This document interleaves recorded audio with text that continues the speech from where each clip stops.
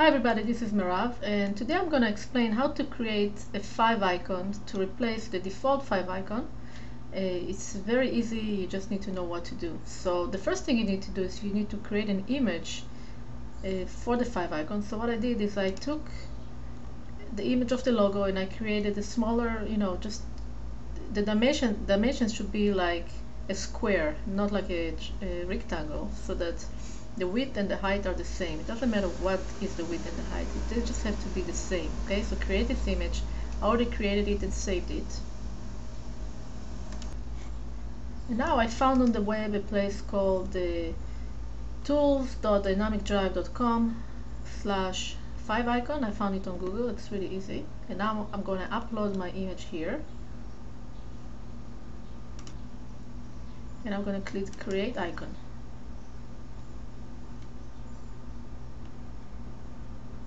So now I can see that there is a preview here. I can see how it's going to look like. It looks good to me.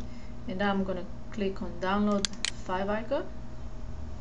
I'm going to save it somewhere on my computer. Now the next thing you need to know is where is this favicon image located on your server. So I'm using Fire, uh, Firefox and I'm using the developer toolbar that you can download. Just Google developer toolbar that gives me a lot of tools. So what I'm going to do is I'm going to click on image display a view image information and that's going to show me all the images on the page including the favicon and I'll be able to see where it is. Here's the favicon right here. So I can see that it's located inside templates directory inside my, my uh, default template JP praise 1.5 and the name is favicon.ico so now I'm going to find it on the back end. So I'm going to go to uh, the back end of uh, Joomla and I have installed an extension called eXtplorer which is a very important extension, very useful. You can also upload it with FTP, it doesn't matter. This is more for beginners uh, if you don't know how to use FTP. So you basically uh, log into eXtplorer on the back end and then you try to find that uh, template folder here it is. And here is my template. And I'm gonna just upload it here. Here's the icon that we want to replace. So I'm just gonna click on the upload icon here and I'm going to upload the one I saved.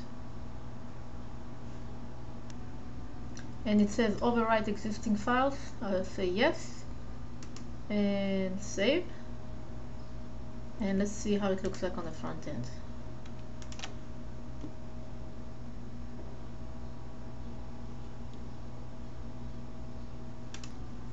If you uh, if you refresh the page and you don't see the icon the, the favicon that means you have to clear your cache or just click on control and then uh, click uh, F5 that will refresh the, the cache. So as you can see the new icon is showing the new favicon is showing uh, perfectly fine and it looks great Uh, so this is it. I hope you found it helpful. Thanks for watching